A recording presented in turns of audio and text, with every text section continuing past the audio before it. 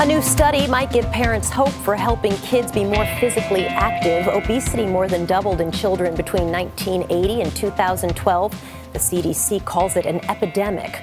But what if video games, yeah, video games, could actually help kids lose weight? Jamie Wax is at a Dave and Buster's arcade in New York's Times Square with how to get a healthy score. Hey, Jamie, good morning. Good morning.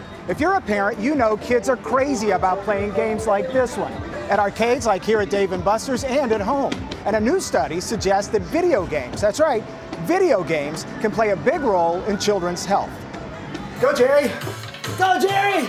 Jerry Walker is a dancing machine. But it's not all fun and games. There's a mission behind this 12-year-old's moves.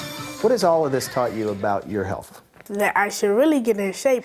I'm like, oh yes, I'm so ready to get in shape. I will get in shape. Jerry's collecting points for accurate steps, but researchers are collecting more vital information. It's part of a study to see whether video games can actually help him lose weight.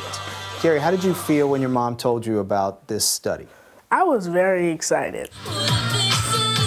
Researchers purchased Xboxes, then asked Jerry and other kids like him to play for one hour, three nights a week.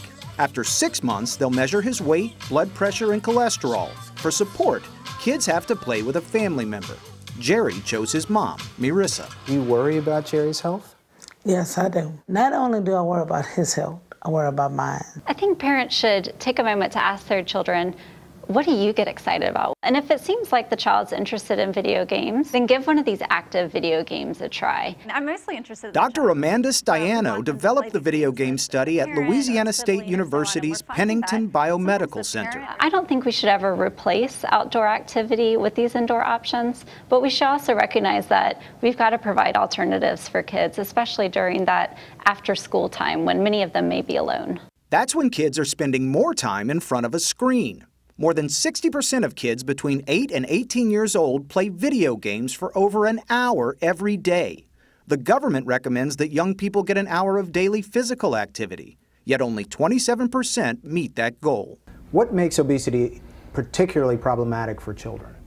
Well, the problem is, is that when you become obese as a child, you really set yourself up for the rest of your life. Dr. Diane Hess is a pediatrician specializing in childhood obesity what I see in my practice is that my patients are extremely sedentary and I do anything I can. I try to be so creative to figure out how can I get you to move it. Two years ago, Pennington researchers conducted their first game experiment with 41 overweight girls between the ages of 14 and 18 years old. They found the participants increased bone density, lost body fat, and improved their self-confidence one thing that's the most important thing is the self-esteem. So I think that the fact that they completed it and they felt good about themselves, I think that's probably the best benefit of all.